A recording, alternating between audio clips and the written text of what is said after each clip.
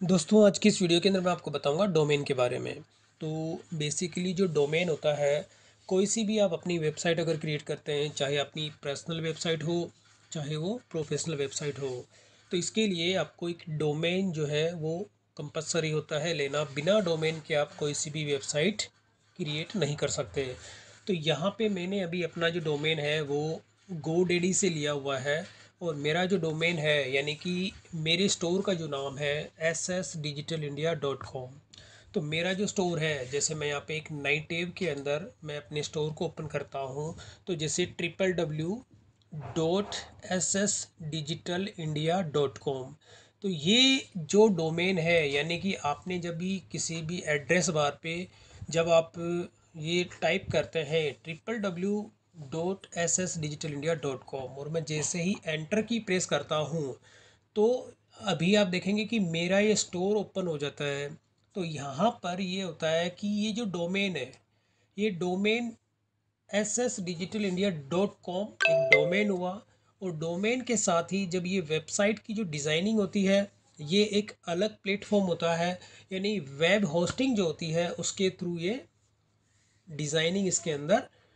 होती है। तो ये यहाँ पे जो डोमेन होता है, यानी डोमेन एक अलग कंपनी प्रोवाइड करती है और वेब होस्टिंग भी आप अलग कंपनी से ले सकते हैं, जिस किसी भी कंपनी से आप लेना चाहते हैं। तो यहाँ पर मैं अभी बात करता हूँ डोमेन की, यानी जो मेरा डोमेन है S S digital India dot com की। तो जब कोई भी आपको अगर नया डोमेन परचेस करना होता है तो आप गोडेडी पे जाके डायरेक्ट यहाँ पे फाइंड योर परफेक्ट डोमेन यानी कि जो भी स्टोर आप क्रिएट करना चाहते हैं तो वो स्टोर जिस किसी भी नाम से आप रखना चाहते हैं तो वो आप यहाँ पे सर्च करेंगे। अगर वो डोमेन अवेलेबल होगा तो आपको नीचे उसकी लिस्ट आ जाएगी और लिस्ट के साथ ही उसके चार्जेस आपको देखने को मिलते हैं। तो यहाँ पे भी स्टार्टिंग के अंदर होता है कि गो डेडी पे आपको डोमेन अगर परचेज करना चाहते हैं तो फोर नाइन्टी नाइन ईयरली आप देखे भी डॉट कॉम जो डोमेन है वो ले सकते हैं। जैसे मैं यहाँ पे अभी अगर अपना डोमेन सर्च करता हूँ S S digital India dot com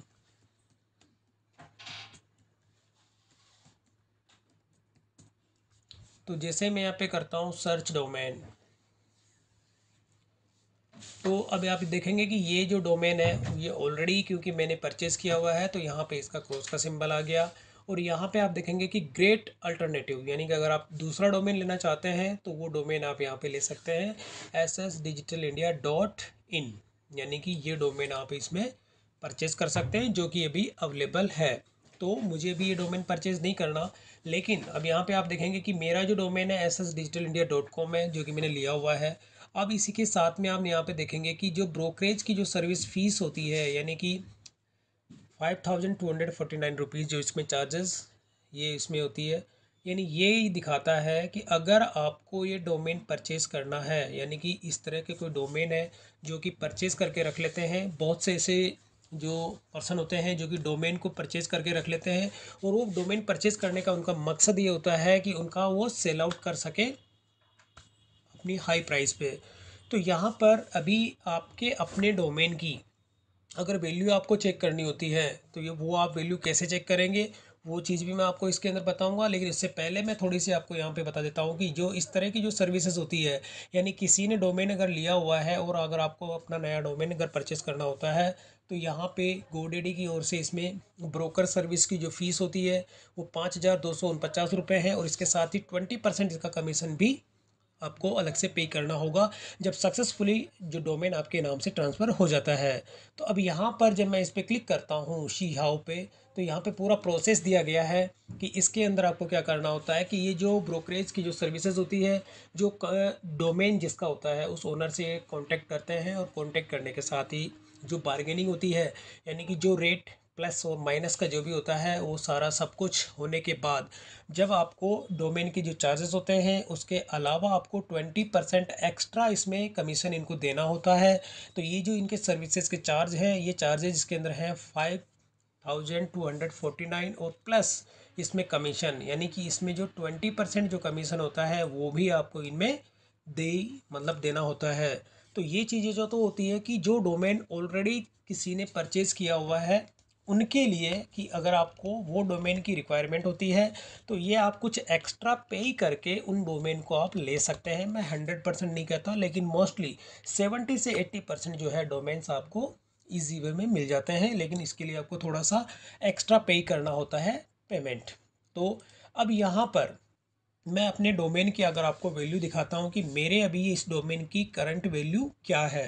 तो इसके लिए यहाँ पे मैं क्लिक करता हूँ। यहाँ पे जो माय प्रोडक्ट है इस पर गोडेडी का मैंने यहाँ पे अभी लॉगिन किया हुआ है। और इसी के अंदर मैं आपको अपना दिखा देता हूँ डोमेन तो जब मैं यहाँ पे डोमेन्स पे क्लिक करता हूँ तो यहाँ पर जो गोडेडी के अंदर मैंने अभी इसको अप, मैंने अपना डोमेन परचेज़ किया था 2016 के अंदर। तो अभी आप देखेंगे कि मेरे डोमेन की जो वैल्यू निकल के आ जाती है, वो यहाँ पे निकल के आ रही है eight hundred twenty nine dollar. यानी कि आठ सौ उनतीस रुपये मेरे इस डोमेन की अभी करंट वैल्यू है। यानी अप्रॉक्स अगर इसको माना जाए कि मैं इसमें इसको अगर सेल करता हूँ तो जो आठ सौ उनतीस डॉलर है, इसकी अभी करंट प्राइस क्या होगी, वो भी मैं आपको दिखा देता हूँ। Dollar to Indian rupees. और यहाँ पे मैं करता हूँ एट टू नाइन। तो यहाँ पर अभी मेरी जो डोमेन है, इसकी वैल्यू निकल के आ जाती है sixty eight thousand one hundred forty two यानी अप्रॉक्स अगर मैं अभी जो गोडेडी की तरफ़ से इसकी जो वैल्यू लगी हुई है, वो लगी हुई है सिक्सटी एट थाउज़ेंड यानी कि अगर मैं अपने डोमेन को अगर अभी सेल करता हूँ तो ये मेरे ऊपर डिपेंड करता है कि मैं इस डोमेन को जो मेरा S S digital India dot com का डोमेन है, अगर सेल करना चाहूँ तो इसकी वैल्यू यहाँ पे आठ सौ उनतीस डॉलर है। इससे मैं अपने भी इसको सेल आउट कर सकता हूँ। ये मेरे ऊपर डिपेंड करता है, लेकिन गो डेडी की तरफ़ से जो इसकी जो वैल्यू भी है, वो है आठ सौ उनतीस डॉलर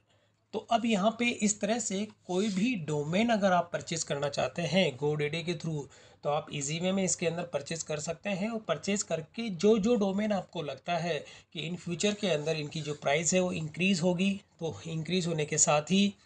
ऐसे डोमेन को आप सेल करके भी अपना एक अच्छा खासा प्रॉफिट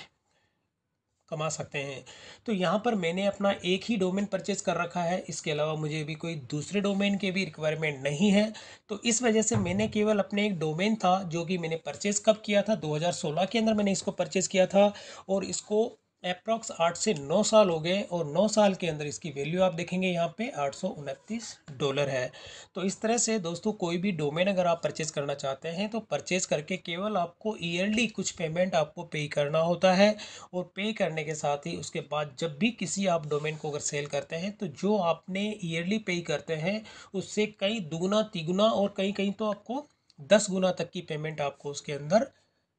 प्रॉफिट आपको मिल जाता है। तो इस तरह से आप डोमेन को जो है गोडेडी है या इसके अलावा कोई अदर जो प्लेटफॉर्म होते हैं, उससे भी आप अपना डोमेन को सेल एंड परचेज भी आप कर सकते हैं। तो ये एक प्रोसेस था दोस्तों की जो डोमेन के बारे में मैंने आपको बताया कि एग्जैक्ट जो डोमेन की मेरी क्या वैल्यू है और इसके साथ ही कोई नया डोमेन अगर आप परचेज़ करते हैं तो स्टार्टिंग के अंदर काफ़ी कम चार्जेस इसके होते हैं और जैसे जैसे डोमेन आपका पॉपुलर हो जा हो जाता है तो उसी के साथ में इसकी वैल्यू भी बढ़ जाती है। तो दोस्तों, अगर वीडियो पसंद आए तो इसे लाइक और शेयर ज़रूर करें और मेरे चैनल को सब्सक्राइब करना ना भूलें।